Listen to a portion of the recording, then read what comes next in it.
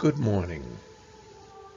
Let us begin in the name of the Father, and of the Son, and of the Holy Spirit. Amen. Chapters 8 and 9 of Matthew's Gospel recount ten miracles of Jesus. The last single miracle is a man possessed by a demon and who is mute because of the possession.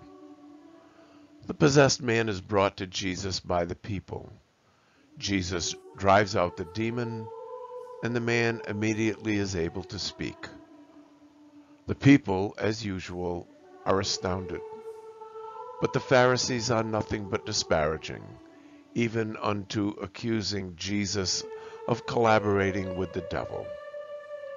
Stories of blindness, deafness, and dumbness in the gospel always have a deeper meaning.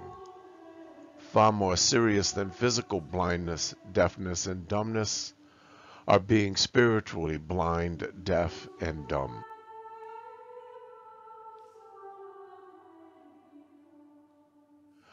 The Pharisees in this recounting represent such people.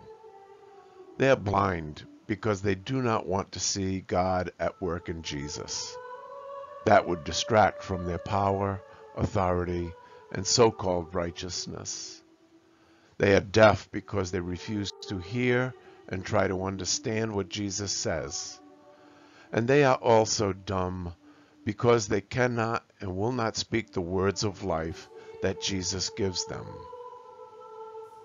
The very same can happen to each one of us.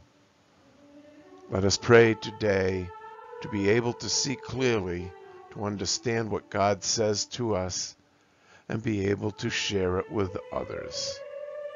Amen.